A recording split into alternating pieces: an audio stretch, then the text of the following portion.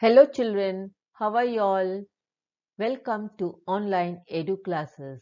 Today we are going to learn chapter number 11 perimeter and area part 6.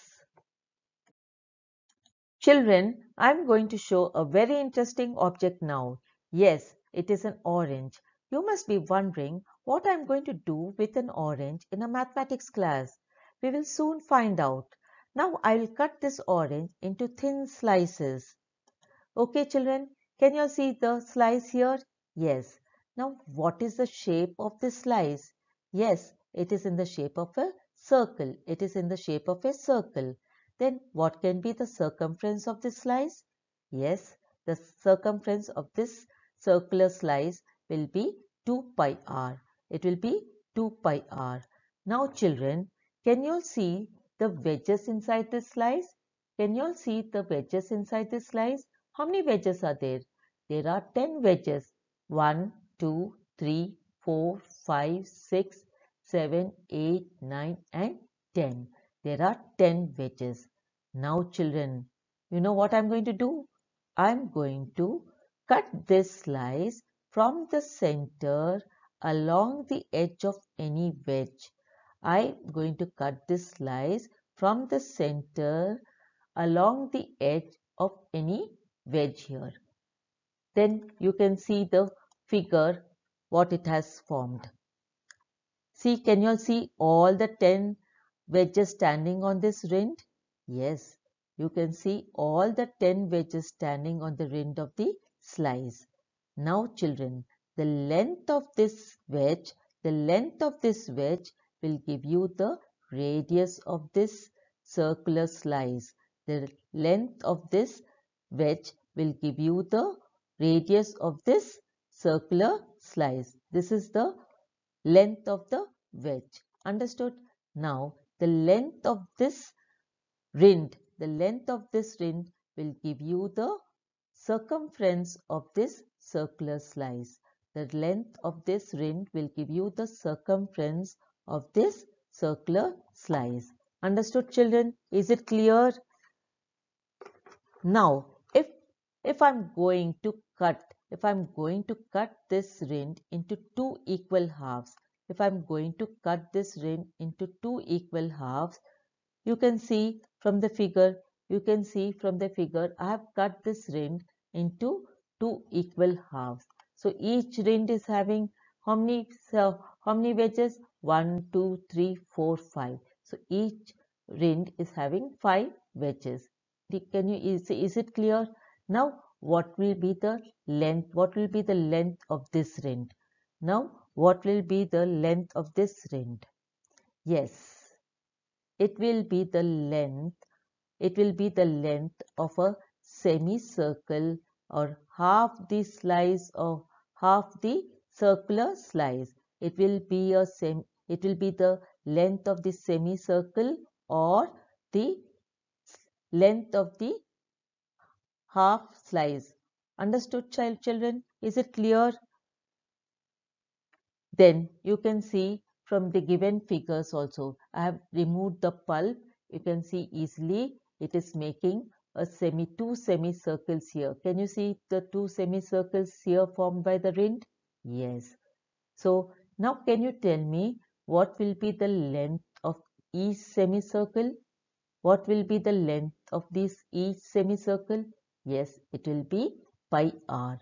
It will be pi r because it is half of 2 pi r. It is half of 2 pi r.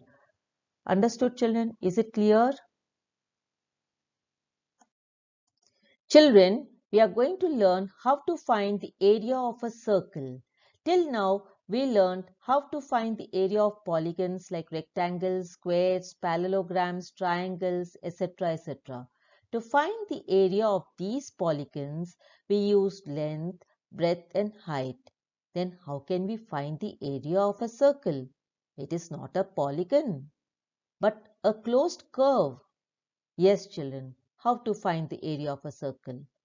For that, I have taken a circle of radius r. I have taken a circle of radius r and then I divided the circle into 12 congruent sectors. I have divided the circle into 12 congruent sectors.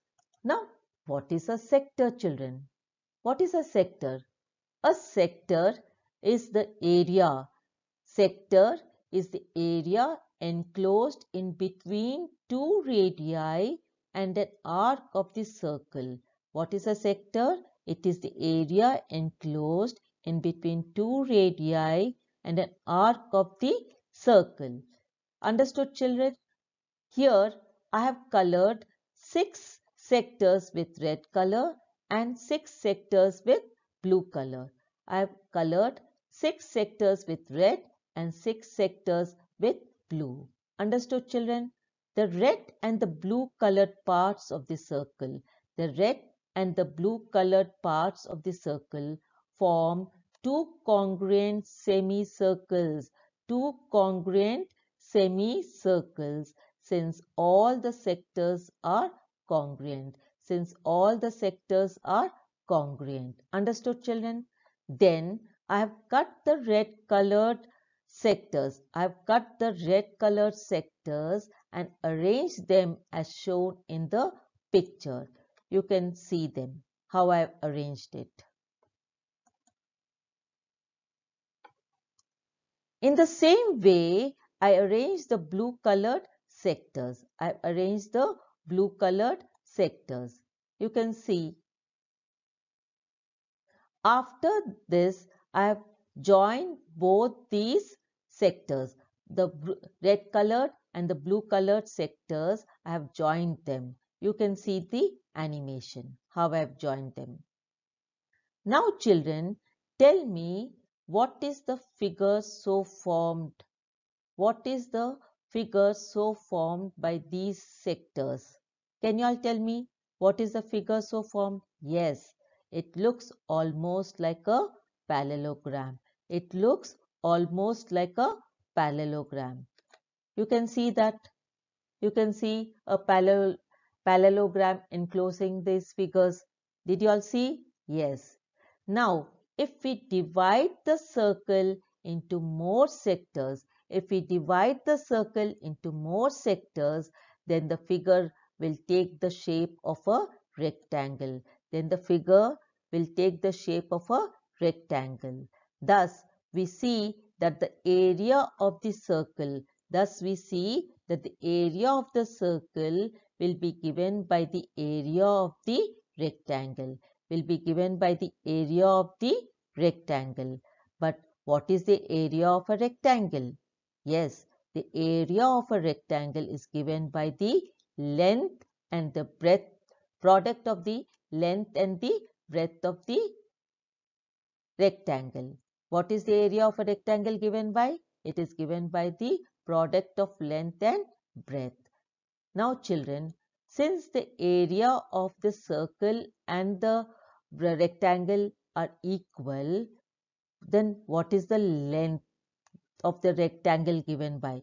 What is the length of the rectangle given by? Yes, the length of the rectangle is given by the length of the semicircle. It is given by the length of the semicircle. But what is the length of the semicircle? It is equal to pi r. Why it is equal to pi r? Because the, the length of the semicircle is half of the circumference. It is half of the circumference. But we know children that circumference is equal to 2 pi r. So, length of the semicircle is equal to pi r. Understood? Then what is the breadth of this rectangle?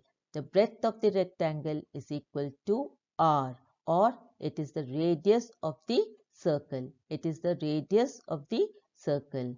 What is breadth? Breadth is given by the radius of the circle. Did you all understand children? Now, thus we find that the area of the circle is equal to area of rectangle that is equal to length into breadth. We will continue in the next slide children. Children, here the two lengths of the rectangle is equal to the circumference of the circle that is equal to 2 pi r. So length of the rectangle is equal to half of the circumference or it is equal to the length of the semicircle. So that is equal to half into 2 pi r is equal to pi r. So and breadth of the rectangle is equal to r. So now we know the length and the breadth of the rectangle. So it is easy to calculate the area of the circle. So area is equal to the length of the rectangle, sorry, uh, area of the rectangle. So instead of writing area of the rectangle, I can just write length into breadth. But what is length? Length is equal to pi r. And what is breadth? Breadth is equal to r. So area of the circle is equal to pi r into r. That is equal to pi r square. So area of the circle is equal to pi r square. What is area of the circle? Area of the circle is given by pi r square. Thank you children. Have a nice day.